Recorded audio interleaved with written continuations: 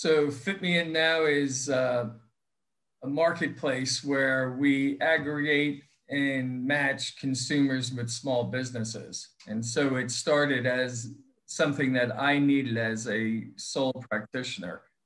So I was thinking about how I could leverage a, a, marketing tool for my practice that would be sustainable.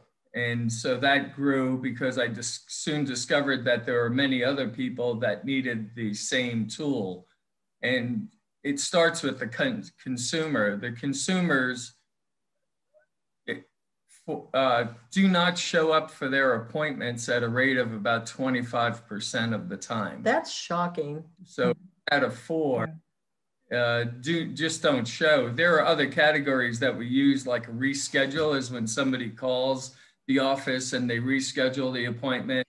And then there's a cancellation, which is the other category where somebody calls the office and they say, I can't make it, I'm going to cancel but a no show is they don't show up and they don't call. So you're lost, that, that's lost time. And when you figure that one out of four dollars is lost, it's um, very appealing to small businesses who operate on appointments to use Fit Me In Now calendaring